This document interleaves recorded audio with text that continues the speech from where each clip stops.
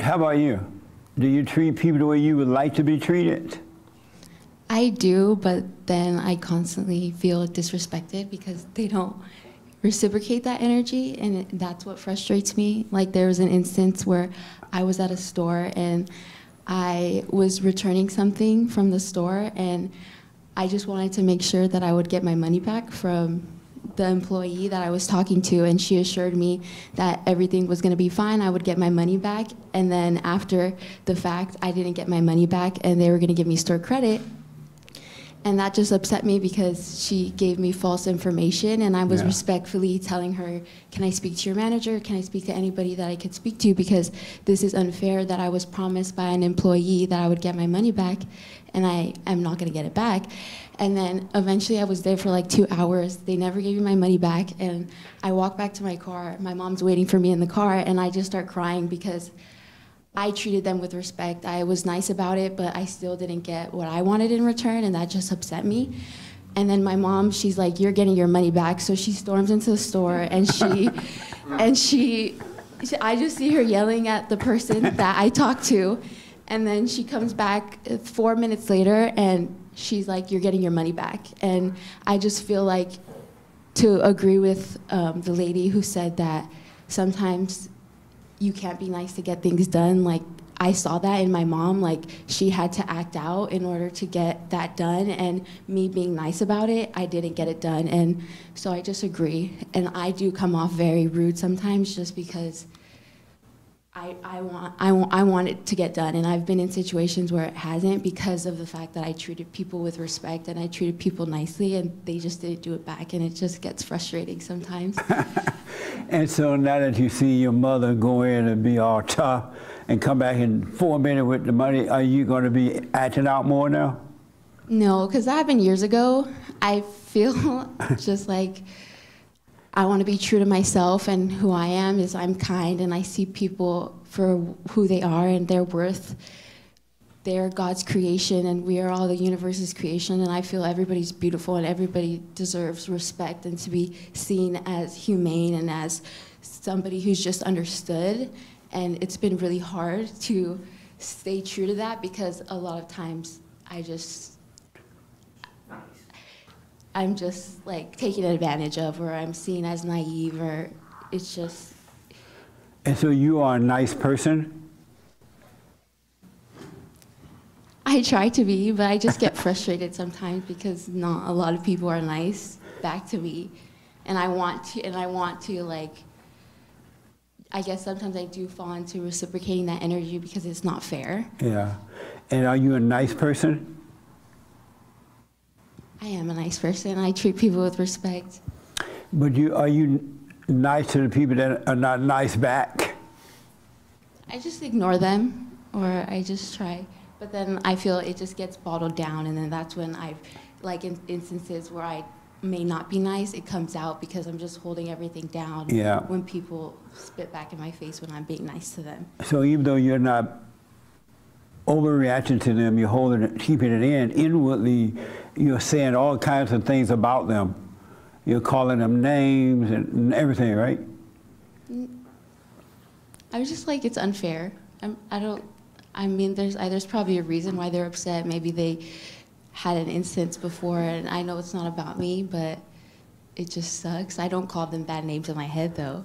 But inwardly, what are you holding in? Just the fact that I feel belittled or I feel not seen. Oh, okay. And who is feeling that way? Myself. I'm sorry? Myself. And who, who, who are you?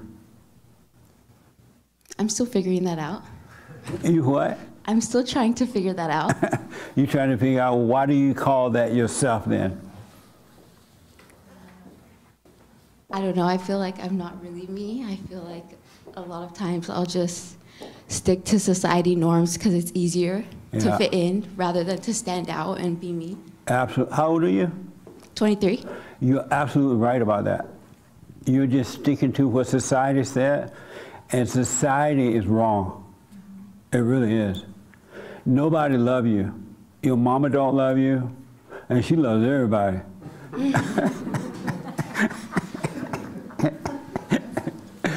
Your daddy don't love you. You don't love you. Your friends don't love you. You have no love. What do you think about that? Um, I could agree because I feel a lot of people can't see things past Speak up for me. selfish. I just feel people are selfish. So I feel like they try to, but they can't because they haven't maybe loved themselves. And why do you feel that way? I see it in my parents a lot. Yeah. And you see it in you. It starts with you first. You're selfish. It's all about you. If you don't make me happy, I'm not going to like you. Isn't that right? Yeah. Yeah. And that's how your mother is. That's how everyone you know is. How do you feel seeing that? It's hard In what way? in the way that I understand why I get frustrated because I see people around me get easily frustrated and, Yeah. and then it's it's all I know. Yeah. And, and then it just gets me frustrated because it just should be different, but it's not. That's amazing. You're 23. Yeah. You're on the right track. You know something is wrong. And you see something going on that's wrong. That is the beginning of overcoming that. At least you're not going through your whole life thinking that things are right and then trying to make them be your way and all that kind of crap. You know that something is wrong. Um, what is it like knowing that your parents don't love you? It's hard, but I still love them because I'm not trying to treat them how they treat me, and I'm trying to believe in what I believe, and it's that everybody deserves a chance to grow and a chance to be a better person each day they wake up. They deserve a chance? And who think so. should give them the chance? Themselves. Yeah, amazing. Do you want to be free today and not have to care about any of those things ever? I would And- like to be free. Yeah, and let the world go crazy on its own, let everybody else be crazy, and you're sane in, a, in, in, a, in, in your own world? Yeah, but it's just hard to watch because it's hard to see everybody else on fire when I'm trying to put mine out. Yeah, but it's hard for you to watch other people on fire while you're trying to put your other your fire out. Why is it hard to watch? Let them burn. Why is it hard? it ain't got nothing to do with you. Yeah, so I, Why I is it hard for you to with see other people on fire?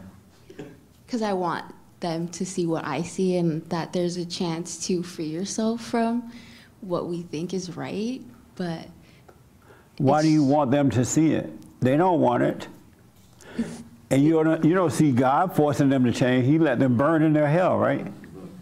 Right? yeah, So why do you care? If God doesn't care, why do you care? and that's what I have to let go of if I eventually want to Yeah. be as free as I'm dreaming of. Absolutely. You shouldn't care one iota about somebody else's hell. When you see people in hell, you should go, what the? They're in hell. They love their hell, they want to be in their hell, and it's not your responsibility. And if you try to help them in their hell, they'll pull you down into their hell. Yeah, Because some people's minds are so cold and their hearts are so wicked, they don't want heaven. They just want hell. And they'll roam the earth to see whomever. They'll do it to their own children, their own friends, their own family. They'll roam the earth to find out who they can pull into their hell. They don't care about you. Cause evil is evil is evil. It doesn't have, it's nothing but evil. It has no love. That makes sense?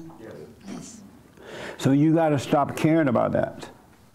Just don't be angry at them, wish them well, and you can see that they're in hell, but don't try to save them. We can't save anybody from, from their hell.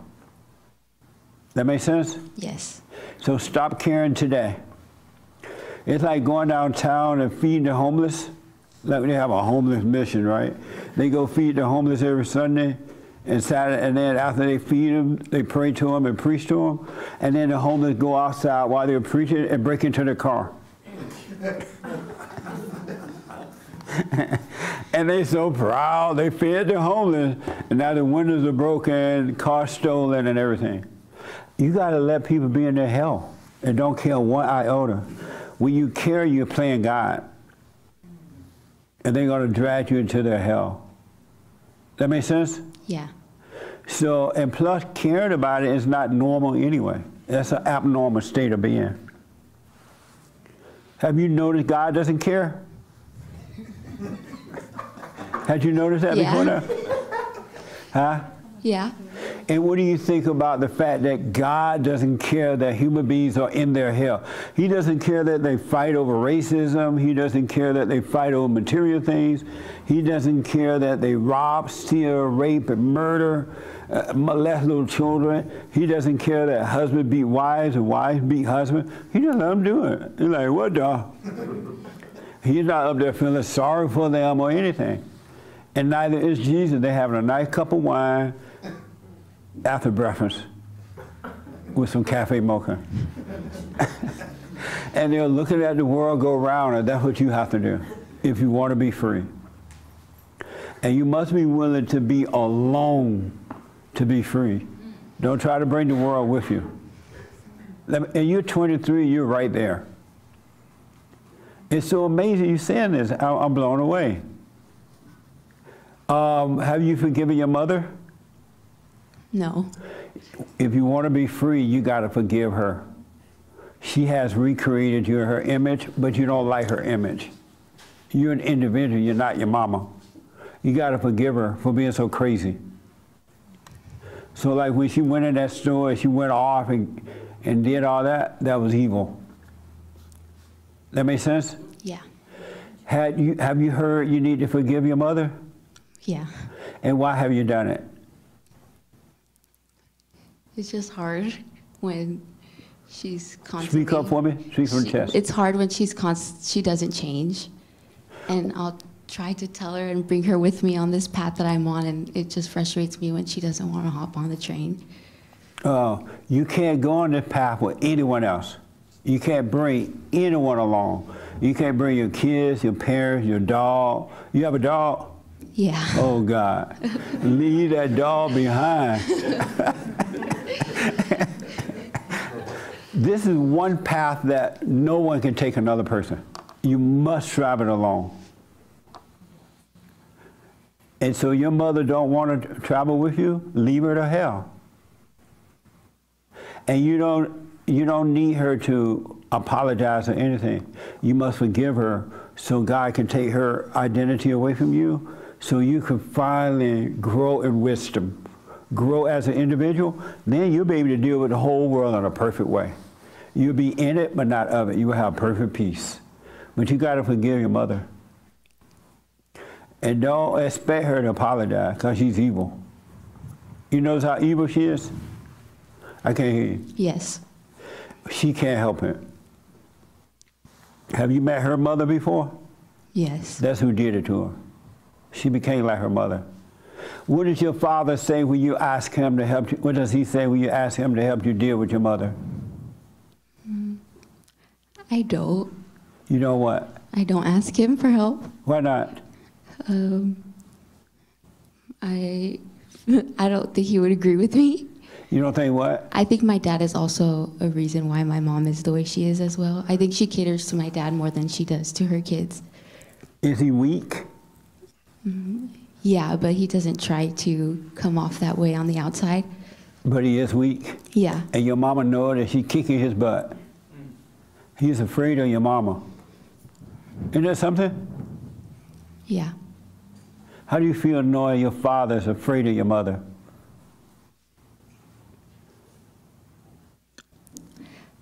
Um, it's just ironic, I guess. Ironic? Mm-hmm. It is ironic.